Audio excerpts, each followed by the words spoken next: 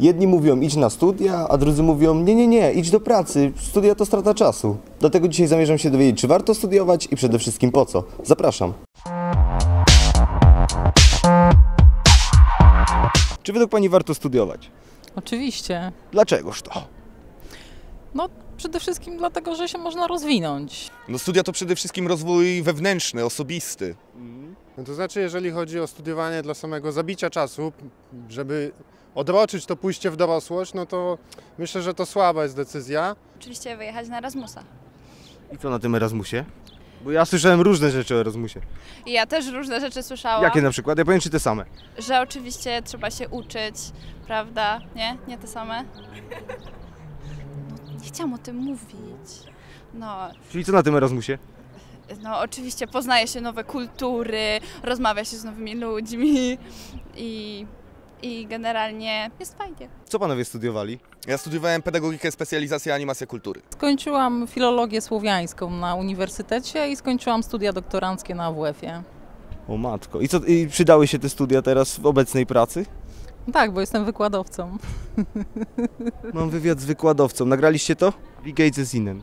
Sehr gut, danke. good. To y, tyle moja znajomość niemieckiego. A co, a co chcesz robić po tym niemieckim? Nauczycielka? Nie, bo Dlaczego? Mogę tego nie mówić. Ja widzę w tobie potencjał, jak tak sprawdzasz po kolei numer jeden, dwa. Nie, ja mam e, kiepską niecierpliwością, wiesz. Jakie zna pan stereotypy o studentach? Mm, No na pewno pierwszy i podstawowy to taki, że każdy student jest biedny. Bida z nędzą. Tak, bieda z nędzą, że oszczędna, oszczędzamy na wszystko. Biedak, chlejus. Oczywiście bardzo dużo piją i bardzo dużo o tym mówią i się niesamowicie tym emocjonują, Mhm. kiedy opowiadają o tych wszystkich imprezach i swoich Co pani dokonania, tak, tak. dokonaniach właśnie. Co na przykład takiego dokonują studenci? Znaczy ogólnie kto ile wypił, zawsze jest taka licytacja. Kto, kto z kim, gdzie? najwięcej. Tak, kto z kim gdzie również. Mam słabą głowę. Bo, nie ma, że nie będę się chwaliła jak mi idzie. Jak pani idzie? A zdarza się, że ciągną, wy, wyciągają z tego, z tego klubu? A nie, to bez przesady. No to, to nie jest słaba głowa. No, dwa piwa, serio? Bardzo pani dziękuję. Proszę. Miłego dnia, bardzo z pani wykształcona osoba. W przeciwieństwie do mnie. Bez przesady. A jakie jest wasze zdanie na temat studiowania? Piszcie w komentarzach. Dla Campus TV Filip Denys.